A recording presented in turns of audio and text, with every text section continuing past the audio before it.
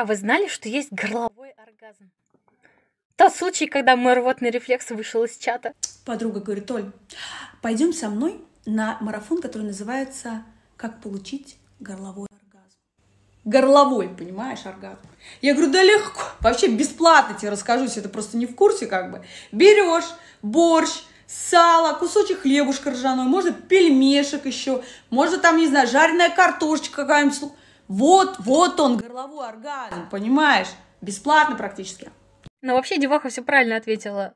Лучший горловой оргазм – это жареная картошечка.